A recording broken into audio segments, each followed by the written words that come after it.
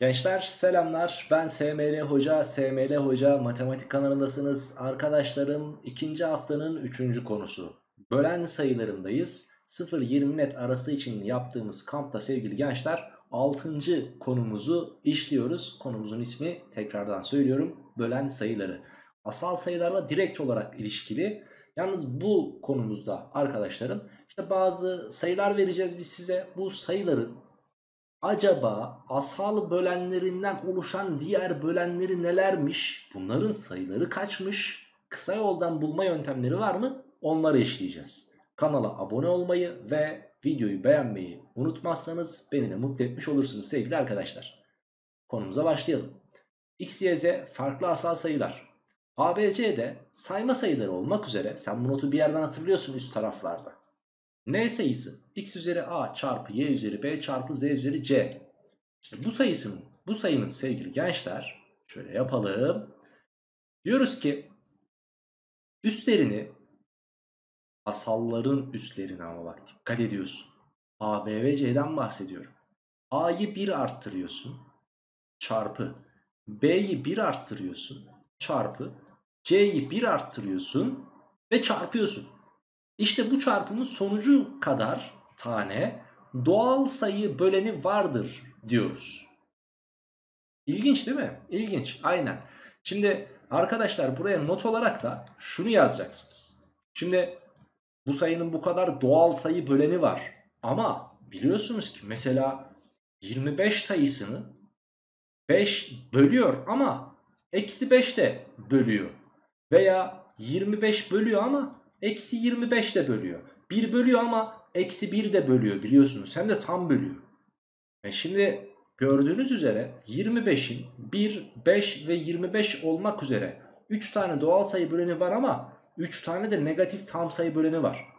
O zaman ben şunu söyleyebilir miyim? Bütün sayılar için bir sayının bu kadar doğal sayı böleni varsa iki katı kadar da tam sayı böleni vardır diyebiliriz. Yani o zaman tam sayı bölenlerini bulmak için tam sayı bölen sayısını bulmak için tam sayı bölen sayısını bulmak için bulmak için burada belirttiğimiz formülü yani a artı 1 çarpı b artı 1 çarpı c artı 1 bunu sevgili gençler ne yapacaksınız? 2 ile çarpacaksınız. Çarptığınız takdirde tam sayı bölen adedini bulmuş olursunuz. Örneğe bakalım. 180 sayısının kaç tane doğal sayı böleni vardır? Doğal sayı böleni diyor. Üstteki formülü kullanacağız. Hiç acele etmeyeceksin. 180'i ne yapacaksın? Asal çarpanlarına önce bir ayıracaksın. Hadi bakalım. 2'ye böldüm. 90. 2'ye böldüm. 45. 3'e böldüm. 15. 3'e böldüm. 5. 5'e böldüm 1. Yani bu 180 sayısını ben nasıl yazacağım arkadaşlar? Şuraya bakaraktan 2 tane 2 çarpanı var 2'nin karesi. 2 tane 3 çarpanı var 3'ün karesi. Bir tane 5 çarpanı var 5'in birinci kuvveti dedik. Sadece üstlere odaklan. 2'ye 2'ye ve 1'e. 2'yi 1 arttırdım 3. 2'yi 1 arttırdım 3. 1'i 1 arttırdım 2. Çarptınız ne geldi? 18 geldi değil mi? Demek ki bu 180 sayısının 18 tane tam böleni vardır diyeceğiz sevgili gençler. Hem de saymadan. Evet. Aslında biz saymış oluyoruz ama matematikçi gibi saymış oluyoruz. Oturup da şunları yapabilirdik. 180'i 1 böler, 2 böler, 3 tam böler, e 4 de böler, işte 5 de bölüyor, 6 da bölüyor, 7 bölmez, e 8 bölmez, 9 böler, e 10 böler. Tek tek bu şekilde saya saya 180'e kadar gidip bunların hepsini saymış olsaydınız gene 18 tane bulurdunuz. Ama biz ne yaptık? Bazı şeylerin kısa yolunu öğrendik. Anlaştık. İşte bu konunun asıl amacı bu. Örnek 150 çarpı 30 çarpı 60 sayısının kaç tane tam sayı böleni var demiş. Hadi bakalım. Önce 150'yi ayırıyorsunuz çarpanlarına. 150'yi ayırırsanız 2'ye böldünüz 75. 2'ye bölünmez. 3'e böldünüz 25. 5'e böldünüz 5. 5'e böldünüz 1. Sonra 30 sayısını asal çarpanlarına ayırıyorsunuz. 2'ye böldünüz 15. 3'e böldünüz 5. 5'e böldünüz 1. Ve sonra 60 sayısını asal çarpanlarına ayırıyorsunuz. Buradakilerin her birinde tek tek yapıyorsunuz bunu. 2'ye böldüm 30. 2'ye böldüm 15. 3'e böldüm 5. 5'e böldüm 1. Şimdi bu A sayısı hani 150 çarpı 30 çarpı 60 diye hani. Heh. Bu 150 sayısı neymiş? 2 üzeri 1 çarpı 3 üzeri 1 çarpı 5'in karesiymiş. Bak bir tane 2 bir tane 3 iki tane 5 çarpanı var. Yazdım. 30 neymiş? 2 çarpı 3 çarpı 5'miş. Yazalım. 2 çarpı 3 çarpı 5 çarpı 60 neymiş? 2 tane 2 çarpanı var. Bir tane 3 bir tane de 5 çarpanı var. Şimdi ben bunları düzenleyebilirim. Nasıl? 2, 2 ve 2. Toplam kaç tane 2 var? Bir tane burada, bir tane burada, iki tane burada. 4 tane. Çarpı. 3'leri düzenleyelim. Bir tane burada var, bir tane burada. 2, bir tane de burada var. 3, 3 üzeri 3 çarpı 5'leri düzenleyelim. 2 tane burada var. Bir tane burada, bir tane de burada var. 4 tane. 5 üzeri 4. İşte A sayısı buymuş. Artık ne yapacaksınız? Aha da bunlar asal olduğuna göre ne yapacağız arkadaşlarım? 4, 3 ve 4'e odaklanacağız. 4'ü 1 artırdın 5. 3'ü 1 artırdın 4. 4'ü 1 artırdın 5. Toplamda 20 kere 5 100 yapar. Ve 100 tane doğal sayı böleni vardır dersin. Bize neyi sormuş? Tam sayı. Madem öyle ne yapacağız? 2 ile çarpacağız. 2 kere 100 kaç yapar? 200 demek ki bu sayının 200 adet tam sayı böleni varmış diyeceğiz sevgili arkadaşlar. Devam. 31. sayfanın sol alt köşesindeki soru. Bir n sayısı var. 14'ün küpüymüş bu. Kaç tane doğal sayı böleni vardır diye soruluyor. Doğal sayı böleni yalnız ha. Dikkat et tamam. Şimdi 14'ü nasıl yazarız? Hocam 14 bir kere 2 kere 7'dir. Ben onu biliyorum. Sonra da bunun küpünü almış işte. E tamam güzel. O zaman sen bu 3'ü içeri dağıtabilirsin. Yani 2'nin küpü çarpı 7'nin küpü diye yazarsın. E doğal sayı böleni sormuş. Öyle 2 ile falan da çarpmamıza gerek yok. E bu asal bu da asal. E güzel o zaman ne yapacaksın? Hemen 3 ve 3'e odaklanacaksın. Gideceksin 3'ü 1 artırıp 4. 3'ü 1 artırıp 4 diyeceksin. 4 kere 4 16 yapar hocam. Toplamda da 16 tane ta doğal sayı böleni vardır diyeceksin 14'ün küpünü. Bu kadar basit. Devam. Devam.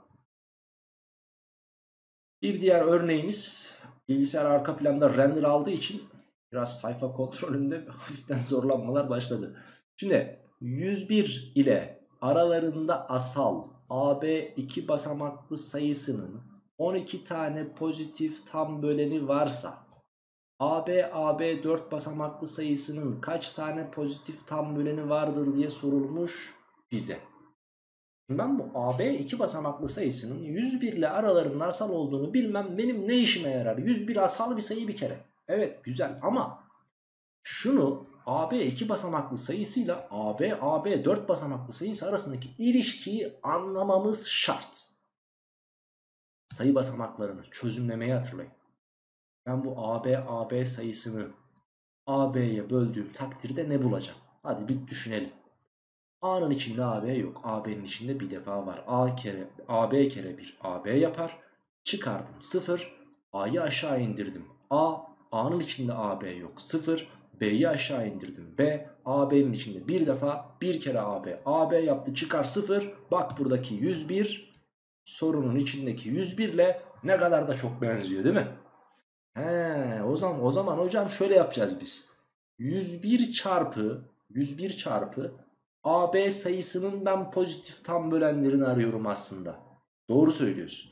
Şimdi o zaman artık şöyle düşünelim. Şimdi bu AB iki basamaklı sayısının kaç tane pozitif böleni vardı? 12 tane. Değil mi? Nasıl buluyorduk bunları işte? Bir şeyi 1 artırmışız. Ötekini de 1 artırmışız. Çarpmışız 12 bulmuşuz. Şimdi güzel kardeşim 101 asal değil mi? 101'in de kuvveti 1 değil mi? Evet. O zaman bu 1'i de 1 artırıp buraya çarpmamız gerekmiyor mu bizim? Evet hocam. E, mantıklı. E, madem öyle ne diyeceğiz? 2 kere 12'den 24 diyeceğiz. Hocam tam bölen diyor. Kardeşim negatifleri alamazsın ki. Pozitif. Pozitif tam sayılar neydi? E, doğal sayılardı. E güzel o zaman. 0 hariç. Doğal sayılardı. O zaman ne diyeceğiz? Hocam cevap 24'müş diyeceğiz. Zaten 12 tane vardı. O 12'nin yanına ben o 101 ile çarptığım için 101'in de birinci kuvvetinin o kuvvetinin bir fazlasını çarpmak zorunda kaldım. Bu yüzden 24 tane geldi. Sen olayı anladın. Güzel. Devam edelim bir diğer örnekle. 1200 sayısının doğal sayı bölenlerinden kaç tanesi onun katıdır? Hayda. İşler biraz garipleşecek mi hocam bu şekilde? Evet biraz daha garipleşecek. Ama merak etme çok düzenli bir şekilde anlatacağım. Hepsini de anlayacaksın. Şimdi 1200 sayısını düşüneceğiz. Önce ne yapmamız lazım tabii ki? Asal çarpanlarına Allah'ın emri ayıracağız. İndirdik şöyle çizgimizi. Çizgiyi indiremedik. Şöyle yapacağız. Neden çizgiyi indiremiyorum? Şöyle yapalım o zaman. Tamam. Bu çizgiyi kullanırız bu sefer de. 2'ye böldüm. 600. 2'ye böldüm. Hocam 300. 2'ye böl. 150. Bir daha 2'ye böl. 75. Ha, artık 2'ye bölünmüyor. 3'e böl. 25. 5'e böl. 5. 5'e böl. 1. Güzel. Şimdi şuradaki sayılar kaç tane 2 var? 4 tane. Madem öyle bu 1200 sayısı 2 üzeri 4 çarpı bir tane 3 var. 3 üzeri 1. 2 tane de 5 var. 5'in karesi biçiminde yazılır. Doğru mu? Doğru. Şimdi ben bu 1200 sayısını şöyle yazmak istiyorum. 2 çarpı 5 çarpı. 2 çarpı 5'i niye kullandım? Onun katı diyor değil mi? 2, 2 çarpı 5. Şimdi ben bir tane 2'yi kullandım ya 4 tane 2 vardı. Kaç tane 2 kaldı? 3 tane. Bir tane 3 üzeri 1. Ve bir tane de 5 kullandım. 2 tane vardı. Bir tane de 5 kaldı. Çok güzel. Şimdi bak. Şurası zaten 10 çarpanı var. 2 kere 5'ten kaynaklı. Aslına bakarsan buraya şöyle kısa yoldan 10 diyebilirsin. E şunlar işte hocam ben diyeceğim ki zaten burada bir 10 çarpanını elde ettim ben. Yan taraftan kaç tane doğal sayı böleni geliyorsa işte o kadar onun katı olan doğal sayı bölenimiz varmış diyeceğiz. Yani diyeceğiz ki şunu şunu şunu bir artırıp çarparsam olay tamam. 3'ün bir fazlası 4, 1'in bir fazlası 2, 1'in bir fazlası 2. Cevap ne? 16. 16 tane onun katı olan pozitif tam bölen varmış ya da doğal sayı böleni varmış diyeceğiz sevgili gençler. Şimdi demek ki asıl mantık ne? Onun katıdır dediği zaman sen buradan 10 çarpanla ayıracaksın. 6'nın katı demiş olsaydı 2 çarpı 3'ü ayıracaktık. 4'ün katı demiş olsaydı 2'nin karesini ayıracaktık. Ve geri kalanlardan elde edecektik biz bu doğal sayı bölenlerini. Geri kalanların üst, üstlerini bir artırıp elde ediyoruz gördüğünüz üzere. Anlaştık. Güzel. Devam. Diyor ki kendisinden farklı pozitif bölenlerinin toplamı kendisinden küçük olan pozitif tam sayıya güçsüz sayı denir. Sayının da güçsüzü olur mu demeyin al bak varmış güçsüz sayı. Mesela 8 güçsüzmüş. Niye güçsüz? 8'in bölenleri nedir? 1, 2, 4 ve 8 doğru mu? Doğru. Kendisi haricindeki bölenleri 1, 2, 4 müdür? Evet. Bunları toplayın. 1, 2, 4'ü topladınız 7 geldi. 7 kendisinden küçük mü? Evet o zaman güçsüzdür diyoruz. Güzel. Hangisi güçsüz değildir diyor. Peki 15'in bölenlerine bakalım. Camı kapatacağım. 15'in bölenlerine bakalım azizallah.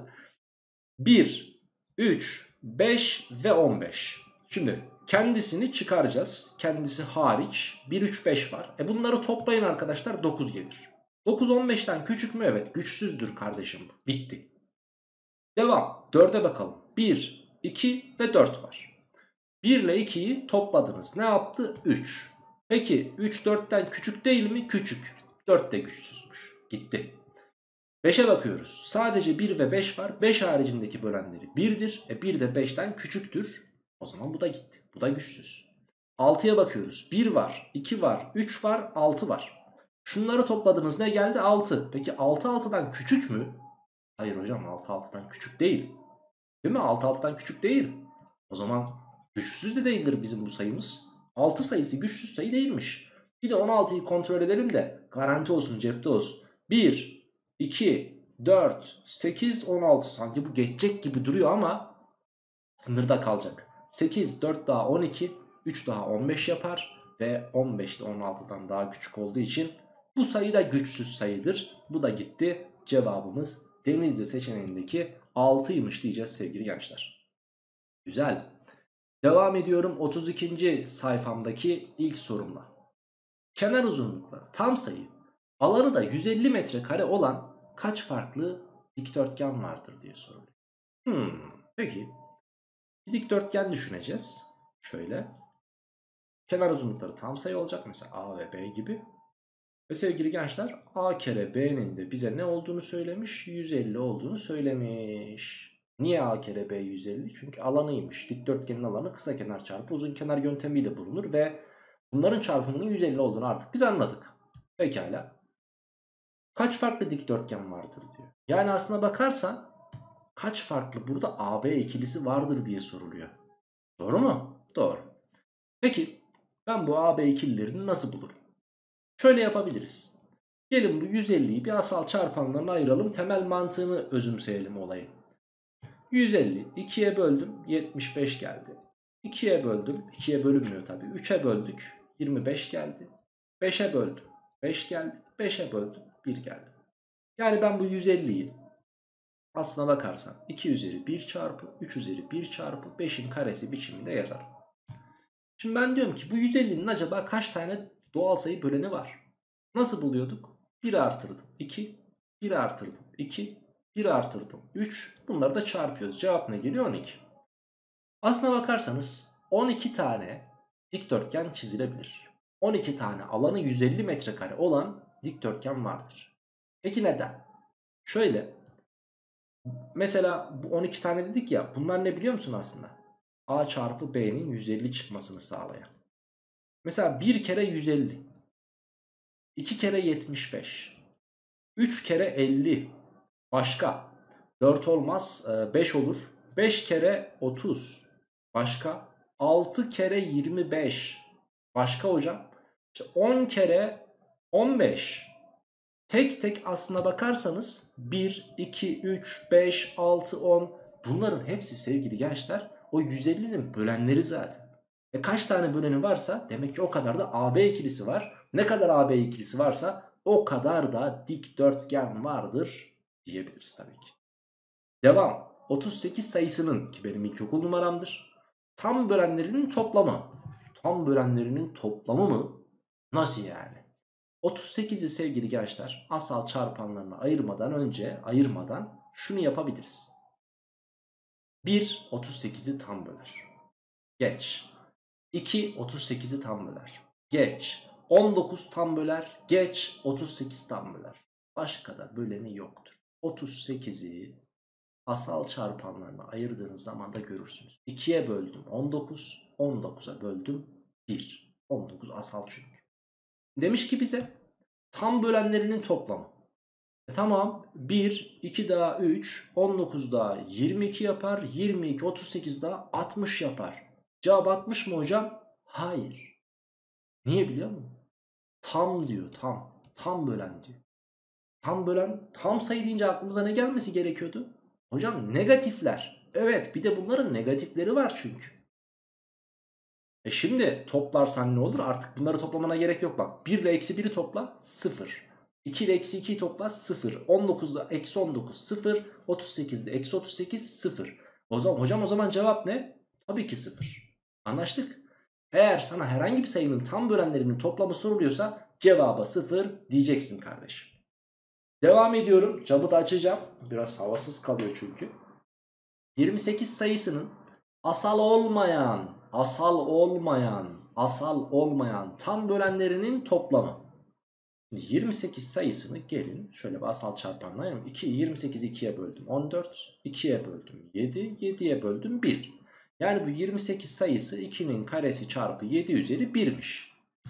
Şimdi 2, 28'in bölenleri mesela 1 var, 2 var, 4 var, ondan sonra 14 var, 28 var değil mi? Asal olmayanları soruyor. E şimdi bir de neyi sormuş? Tam bölenleri ha. Şimdi tabi bir de şöyle bir durum var. Eksi 1 de var, eksi 2 de var, eksi 4 de var, eksi 14 de var, eksi 28 de var. Tabi. Şimdi bu arada kaçırdığımız bir olay var mı burada? 7'yi unuttuk bak. 7 var bir de eksi 7 var değil mi? Tamam güzel. Şimdi buradan şunu e, şuna bakalım. Asal olmayanları topla demiş ya. Şunları topla diyor bak. Biri eksi biri. Zaten negatiflerin hiçbiri asal değil. Hepsini işaretliyorum. 28 asal değil. 14 asal değil. 4 asal değil. Bunları topla demiş bize. E ben bunları toplarsam şu ikisinin toplamı 0. Şu ikisinin toplamı 0. Şu ikisinin toplamı, şu ikisinin toplamı 0. Eksi 7'yi e, asal olmayan doğru to to toplamış. Bunları da toplayacağız. E şunları toplayamayacağız yani. Peki şu ikisinin toplamı mı sorulmuş aslında? Asal olmayanlar. Evet. Eksi 2 ile eksi 7'nin toplamı nedir? Eksi 9. Cevap da bu mu? Evet doğru. Hadi hocam diğer süreye geçelim deme. Çünkü çünkü bu soruyu şu şekilde de çözebilirsin. Eğer sana böyle bir soru verdi. Asal olmayan tam bölenlerinin toplamını istiyorsun sen. Evet normal şartlar altında ne yapacaktı toplamımız bizim aynı üstteki sorudaki gibi sıfır. Ama demiş ki asal olmayanları topla. Sen hangilerini toplayamayacaksın kardeşim? Toplayamadıkların hangileri? Asal oldukları için. Bak şunları yazmana hiç gerek yok. 2 ve 7 hocam. Madem öyle 2 ile 7'yi topluyorsun. Önüne de bir eksi koyunca zaten cevabı bulursun sen. Anlaştık? Güzel. Devam. Örnek. 80 bölü 2n-1 ifadesinin en küçük doğal sayı değeri için n doğal sayısı kaç olmalı? Şimdi en küçük doğal sayı değeri demiş. Bu ifadenin yani şu ifadenin tamamının en küçük doğal sayı değeri 1 olmaz mı? E olur. E madem öyle demek ki 2n-1'in ne olması lazım arkadaşlar? 80 olması lazım ki şuranın 80 bölü 80'den 1 gelsin. O zaman 2n-1 80'dir. E peki n doğal sayısı kaç olmalı diye soruyor. E 2n eşittir 81 dersek 2n eşittir 81 dersek e n burada tam sayı geliyor mu? Doğal sayı geliyor mu? Gelmiyor. Madem öyle doğal sayı da istiyor çünkü bize. O halde şöyle diyeceğiz. E madem öyle 2 olsun diyelim. E 2 olacaksa buranın 40 olması lazım. Peki 2n eksi 1 eşittir 40 sa 2n eşittir 41 olmaz mı? E bu da olmuyor. Doğal sayı gelmiyor. Hayda. 80'i bölebildiği için burası 1'i denedik 2'yi denedik 3 olmaz mesela. 80'i neye bölersen 3 gelir? Gelmez. E buranın 4 olması lazım. 4 için burası 20'dir. E 2n eşittir 21 gelir. E n yine doğal sayı olmuyor. E ne yapacağız? O zaman hocam biz şurayı şu kısmı e, 4 de denedik olmadı. Biz burayı 5 yapalım. 5 olması için de 16 olması lazım. E 2n eksi 1 16 ise e 2n gene doğal sayı gelmez. Deniyoruz deniyoruz olmuyor hocam ne olacak? Şimdi hocam bizim bu 80 dediğimiz sayı var ya. Sen şöyle gel bakalım 80'i bir asal çarpanlarını böyle. 2'ye böldüm 40. 2'ye böldüm 20. 2'ye böldüm 10. 2'ye böldüm 5. 5'e böldüm 1. Şimdi bu 80'in hocam şuraya çift sayılar getirdiğimiz zaman 80'in bölenlerinden çift olanları getirdiğimiz zaman 2n eksi 1 zaten çift olamaz. Sen biliyorsun ki 2n eksi 1 dediğimiz ifade zaten tekliğin gösterimi. Yani sen buraya çift değil de ne koyman lazımmış? Tek sayı. E şimdi 80'in bölenlerine bak. Tek olan bir tane sayı var zaten. O da nedir? 5. Madem öyle 80 bölü 5'ten 16 olması gerekiyormuş. Yani 2n eksi 1'in 5 olması yani 2n'nin 6 olması yani n'nin 3 olması gerekiyormuş diyebiliriz. Güzel. Burada sorumuz kalmadı. 32. sayfanın sağ üst köşesine doğru geçtik. Diyor ki bana 120 sayısını öyle bir x sayısıyla çarp ki karşı taraf bir sayının kübü olsun diyor. Ve e, en küçük pozitif y sayısını istiyor. Yani öyle alelade bir sayıyla çarpma kardeşim diyor. Yani gidip diyor burayı 120'nin karesiyle çarpıp da al hocam işte 120'nin küpü oldu deme diyor.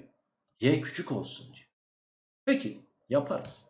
Bir kere şöyle e, bir sayının küpü olan sayılara kübik sayılar diyelim.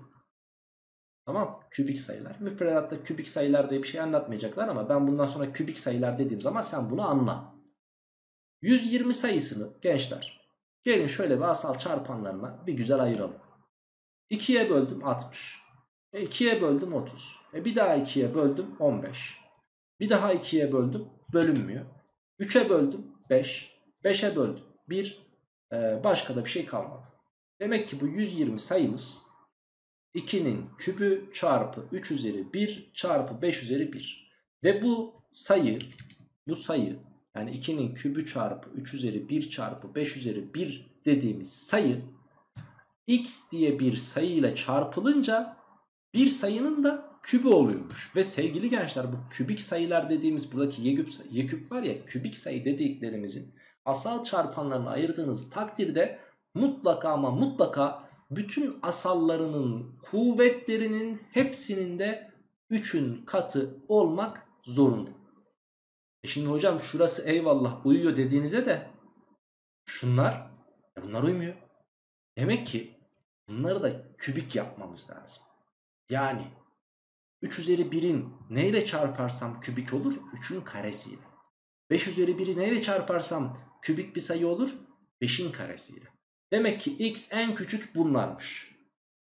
Böylelikle 2'nin küpü çarpı 3'ün küpü çarpı 5'in küpü olur. İşte şu sayımız. Ve bu da y'nin küpüne eşitmiş. E arkadaşım sen bu üsler birbirine eşitse altları çarpma yöntemini biliyorsun. 2 kere 3 6 6 kere 5 30. 30'un küpü eşittir y küpse y'nin en küçük değeri değil midir? Aha da buradaki 30. Bakın y'nin küpü 30'un küpü. Ben de zaten en küçük sayılarla çarpmaya çalıştım bunları. Madem öyle y'nin en küçük değeri kaçmış? 30'muş diyeceğiz. Hemen diğer sorumuza geçiyoruz soğutmadan. x, y, a ve b. Pozitif tam sayıları için 80 sayısını bir x ile çarpmış, a kareyi elde etmiş. 135 sayısını bir y ile çarpmış, b'nin kübünü elde etmiş. Böyle bir ifadenin karesi olan sayılara da aynı buradakilere kübik sayı dedik ya hani. Bunlara da karesel sayı diyeceğiz. Müfredatta bu var bak. Bunlara da karesel sayı diyeceğiz. Karesel dediğim zaman bir sayının karesi olduğunu anlayacaksın. Kübik dediğim zaman da bir şeyin kübü olduğunu anlayacaksın artık. Olduğuna göre x artı y toplamının en küçük değeri kaçtır diye sormuş. Bak şimdi. Ne yapacağız? Buradaki 80'i asal çarpanlarına ayıracağız. Ayıralım hadi. Şöyle yapalım. 80'i 2'ye böldük. 40 geldi. Bir daha 2'ye böldüm 20. Bir daha 2'ye böldüm 10. Bir daha 2'ye böldüm 5. Çok şükür 5'e böldük 1. Demek ki bu 80 sayısı çarpı x neye eşitmiş? 2 üzeri 4 çarpı 5 üzeri 1'e eşitmiş. Ve bu da a'nın karesiymiş. Şimdi nasıl ki kübik sayıları asal çarpanlarına ayırdığımız zaman bütün asalların kuvvetleri kübik olacaktı. 3'ün katı olacaktı. Karesel bir sayıyı da asal çarpanlarına ayırdığın zaman bütün asalların kuvvetlerinin hepsi de çift sayı olmak zorunda. Aynı bunun gibi. Ama bunun gibi değil. Yani 4 eyvallah çift ama 5 üzeri 1. 5 üzeri 1'in kuvvetini 5'in kuvvetini çift yapmak için en küçük neyle çarpmam lazım? Hocam 5 üzeri 1 ile. Demek ki aha da buradaki x 5'miş arkadaşlar. Ve 5 kere 80 400'dür. Ya da şöyle diyebilirsin. Bu 2 üzeri 4 aynı zamanda 4'ün karesidir. Hocam burası da 5'in karesi. Demek ki burası 20'nin karesi. E bu da a'nın karesiydi. Demek ki a 20'ymiş. E şimdi x artı y toplamının en küçük değeri soruluyor. a'yı sormuş olsaydı buradan bulabilirdin a'yı. Ama sen x'i ne buldun? 5. Ve bu en küçüktür. Dolayısıyla işimize gelir. Çünkü bize en küçüğünü sormuş. O zaman ben x'in 5 olduğunu buldum. Art. Bir de y'yi bulalım şimdi seninle. 135 çarpı y. Hemen ne yapacağız? 135'i asal çarpanlarına ayıracağız. Şurada ayıralım. Sen daha düzenli yazarsın. Ben biraz büyük yazıyorum. Sen ekranda gör diye. Çoğumuz bazı arkadaşlarım zaten çoğumuz telefon ekranından falan bakıyor. 135 2'ye bölünmüyor. 3'e böldüm 45. E bir daha 3'e böldüm 15. E bir daha 3'e böldüm 5. E 5'e böldüm 1. Güzel. Bu 135 dediğimiz sayıyı y ile çarpınca bu kübik bir sayı oluyor. Ve biliyorsun ki kübik sayıların asal çarpanlarına ayrıldığı zaman ne olduğunu biliyorsun. Bütün asalların kuvvetlerinin 3'ün katı olması gerektiğini biliyorsun. E şimdi bu 135 dediğimiz sayı aslına bakarsan 3'ün kübü çarpı 5 üzeri 1 değil mi? Evet. Bak asal çarpanlarının kuvvetlerinin 3'ün katı olması gerekiyor dedim. 3'ün katı. Burada bir de çarpı y'miz var onu da unutmayalım. Şimdi bu 3'ün katı eyvallah. Bu olmadı. Demek ki buraya bir 5'in karesi lazım. Çarpılırsa 5'in kübü yapar. Demek ki o 5'in karesi neymiş? Y'ymiş. E güzel 5'in karesi de 25. E bize demiş ki 5 ile 25'i topla. O zaman cevap nedir? 30'dur diyebiliriz. Bir diğer örneğimiz. 240 sayısının doğal sayı bölenlerinden kaçı tam karedir diye sormuş. 240 tabii ki ne yapacağız? Asal çarpanlarına bir zahmet ayıralım.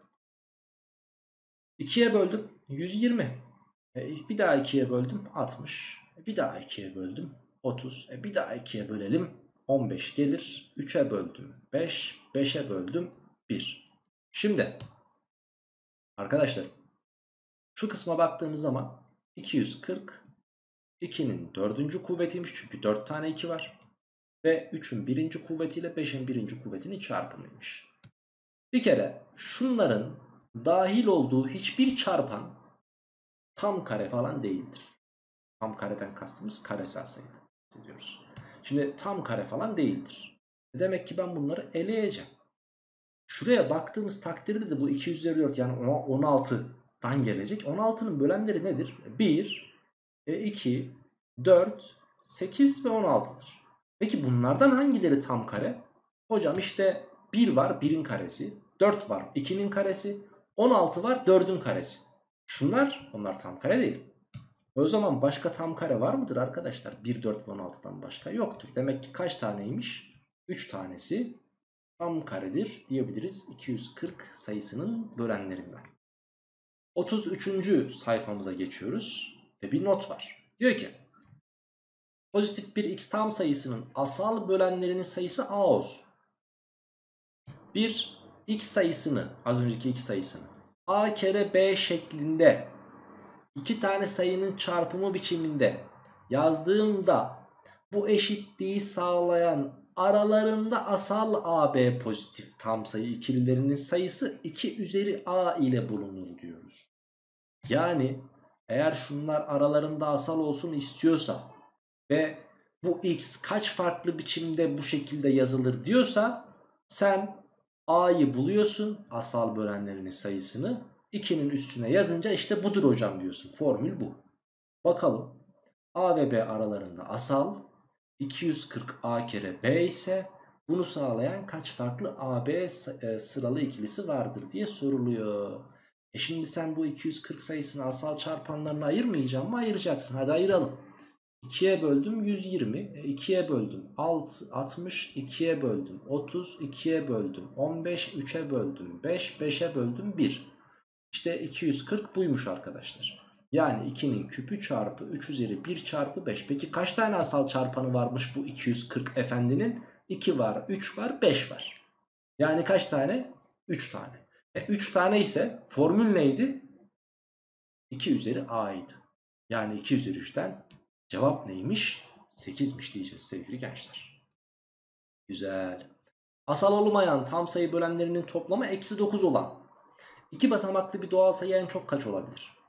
Ya şurada sanki bir çözmüştük ha böyle bir soru. Asal olmayan bölenlerinin toplamı falan diye. Eksi 9 bulmuştuk hatta. Değil mi? Aynen. Peki Nasıl yapıyorduk bunları? Asal bölenleri 2 ve 7'nin toplamı 9 önüne eksi koyuyorduk. Ha güzel. Tamam devam. Devam. Asal olmayan bölenlerin toplamı eksi 9 ise demek ki bu 2 ile 7'nin toplamından gelmiş. Başka bir şey olabilir mi arkadaşlar? Başka bir şey olamaz. Başka iki tane asalın toplamı 9 yapan bir şey yok. Demek ki bu sayı 2 üzeri a çarpı 7 üzeri b'den oluşuyormuş. Anlaşılan. Ve 2 basamaklıymış. Neymiş? 2 basamaklı bir doğal sayı en çok kaç olabilir? Ve bir de bunun maksimum değeri isteniyor ayrıyetten. He, tamam. Şimdi ben burada artık biraz deneme yanılma metodu işin içine giriyor. Şöyle diyeceğiz. Mesela hocam şu 4 olsa bu da 1 olsa mesela. Hocam 16 kere 7 yapar. Biraz 112 geldi 3 basamaklı oldu. Bu bizim hiç hoşumuza gitmedi. Bunu silelim. Peki Hocam şunu 3 yapsak bunu 1 yapsak. 8 kere 7 yapar. O da 56'dır. 56 da ben zannetmiyorum cevabın bu olduğunu. Çünkü 2 basamaklı 99'a kadar var. En büyüğü 56 olmaz bence. Peki biraz daha deneyelim o zaman. Peki ben hep A'yı büyük seçiyorum ya. B'yi 2 seçsem de A'yı 1 seçsem mesela. 2 üzeri 1 çarpı 7'nin karesi. Yani 2 kere 49. Yani 98. 99 zaten olamayacağı için 98'de e, zaten 99'dan bir küçük yani en büyük iki basamaklı sayıdan bir küçük olanı zaten. Demek ki maksimumumuz buymuş sevgili gençler. En çok kaç olabilir demiş cevabımız 98 olacak diyebiliriz. Devam ediyorum 33. sayfanın sağ üst tarafıyla. 24 çarpı a eşittir b kare eşitliğini sağlayan a ve b doğal sayıları için a artı b toplamı en az kaç olabilir? Az önce buna benzer çok çözdük. Bakın 24 sayısını hemen 2'nin küpü çarpı 3 üzeri 1 biçimde yazabilirsiniz artık. Yan yana ayırabilirsiniz de gözünüzde görebiliyorsanız hemen aklınızdan düşünebiliyorsanız bu şekilde asal çarpanlarını ayırabilirsiniz. Peki bir de bunu diyor a ile çarpalım. 2'nin küpü çarpı 3 üzeri 1 çarpı a bir karesel sayıymış. Karesel sayıların özellikleri neydi? Asal çarpanlarına ayrıldığı da takdirde bütün o asalların kuvvetleri hepsi de çift olacak.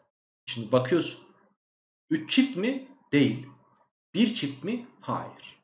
2'nin küpünü üssünü çift yapmak için 2 üzeri 1 ile 3'ün birinci kuvvetini de 3 üzeri 1 ile çarpmamız lazım ki şurası 3'ün karesi gelsin.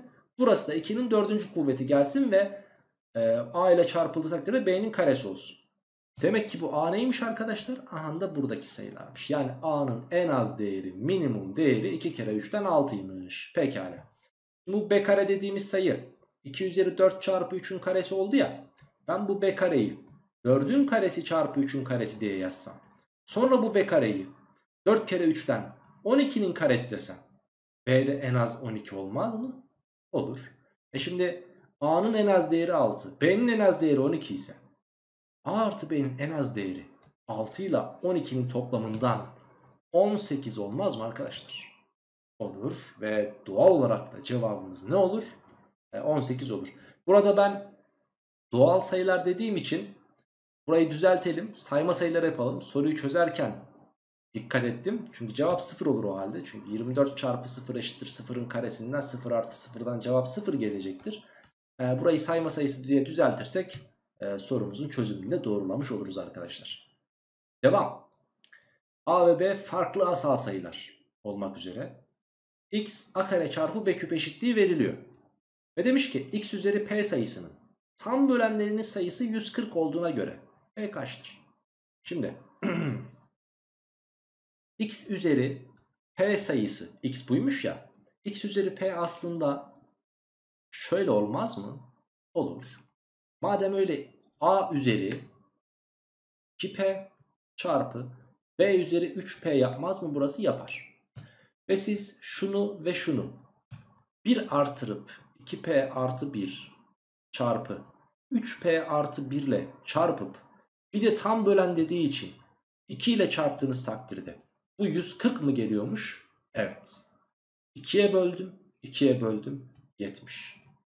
2p artı 1 ile demek ki 3p artı 1'in çarpımı 70 oluyormuş.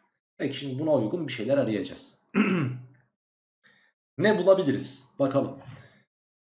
70 dediğimiz sayı 10 kere 7'dir.